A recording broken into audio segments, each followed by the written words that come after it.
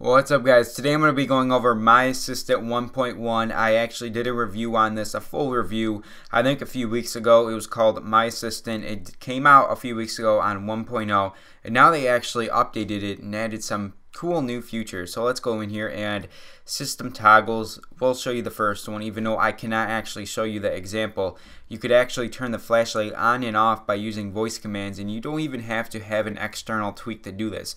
So if I was to say flashlight to Siri, it would actually turn the flashlight on. Flashlight. Turn flashlight on.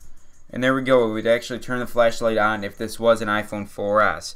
But since it's not an iPhone 4S, it's not actually going to turn the flashlight on.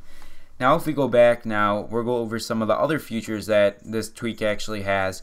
And if we go into the commands, we can go down to the very bottom and we'll see download, send tweet, and open apps. Open apps I think has been there before, but download and send a tweet are the really new ones. So watch this. Download.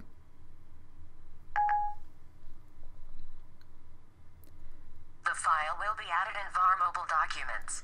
And basically we're going to have to type a file name. So say it was a deb file and we wanted to install um, a cracked app such as My Assistant or something. We can type My Assistant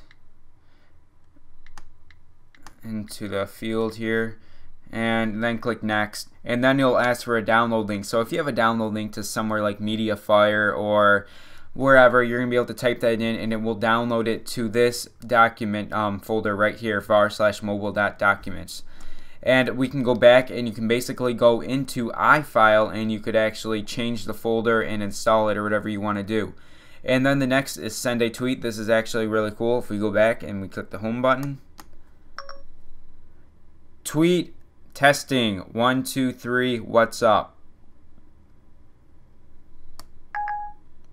Here we go. It should bring up a pop-up making sure I got my tweet right. And there we go. It will we'll be able to edit it if we want to if it actually got anything wrong. And then we can just go ahead and we can click send. And it will send it. And I like that this tweak actually has that feature implanted into it because this tweak is already big and that just made it one step better. So if we go back Let's go, and there is another feature in here. I think it's in Siri UI. Yes, it is. Shorter height bar. If you notice when I open up Siri, it doesn't have all that extra area and stuff. It just kind of looks really cleaner. Watch this. And that's what I'm talking about right there. It's a lot shorter and it looks a lot cleaner. And then if we go into Siri language, you're allowed to change it between English, French, and German. So yes, my assistant can understand all those languages. This is My Assistant 1.1. Go check it out today. It is only 99 cents and you get a ton of features. If you would like a full tweak review on this of the features that came on 1.0, I will leave a link in the description below to that video. So anyways guys, Big Boss Repo, download it today. Remember to comment, like, and subscribe, and I'll see you guys in the next one.